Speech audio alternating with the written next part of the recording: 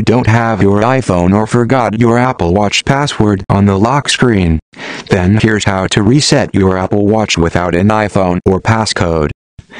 Keep your Apple Watch connected to the charger. Now press and hold the side button just below the digital crown until you see the screen. Keep your watch charging and then hold the digital crown until you see the reset button. When it shows, erase all content in settings, it means it's gonna reset your device to factory defaults. Tap on erase to start the process, and let it reboot once it's done. After that, pair it again with your iPhone or a new one. You'll need to enter your Apple ID password during setup. That's because the activation lock is on, so no one can erase or reuse your watch without your Apple ID password.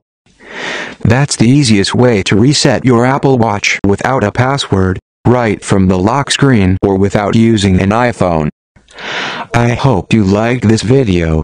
If you have any questions, drop them in the comments below. Don't forget to share and subscribe for new video updates.